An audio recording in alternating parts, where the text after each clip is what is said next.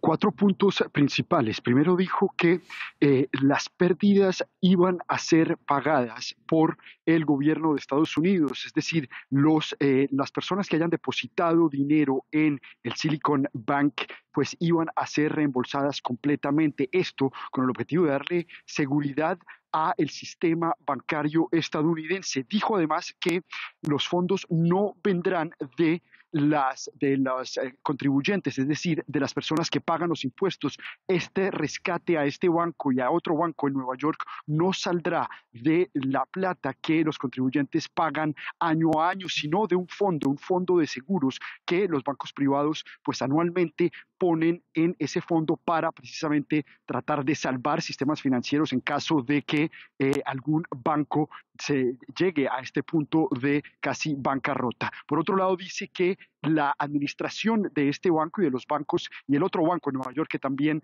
pues, eh, eh,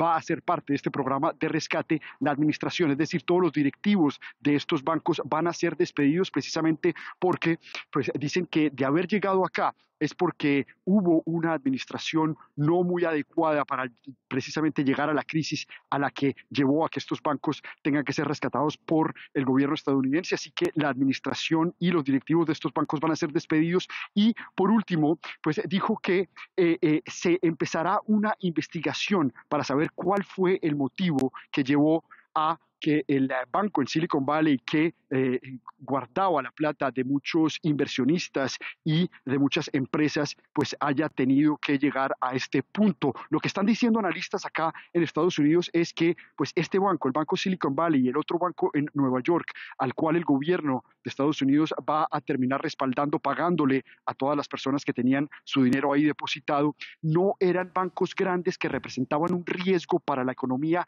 o para el sistema financiero de Estados Unidos es decir, lo que están diciendo y precisamente profesores de, de economía de la Universidad de Chicago es que la quiebra de estos bancos no iba a representar una crisis económica en Estados Unidos. Pues Cristóbal, creo que ella me adelanta lo que decía Joe Biden sobre este anuncio particularmente importante sobre las inversiones. Ahí le pregunto si habrá algo más que agregar.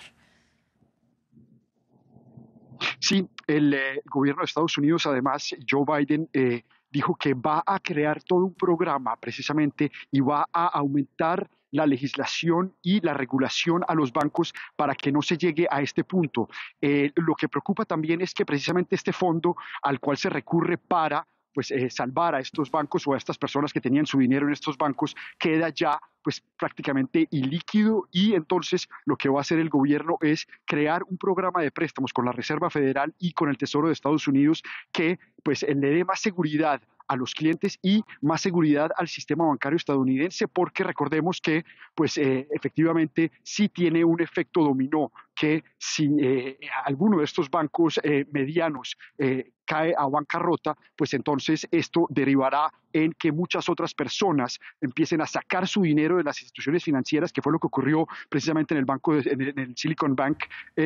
Silicon Valley Bank, y pues genere más pánico económico. Entonces, lo que trató de hacer el gobierno obviamente fue aquí evitar ese pánico económico salvando organizaciones eh, financieras medianas que, aunque eh, analistas digan que no ponían en riesgo el sistema financiero, el banco, pues eh, el, gobierno quiere evitar cualquier tipo de ruido de cara a, esto que acaba de ocurrir en Estados Unidos en Silicon Valley.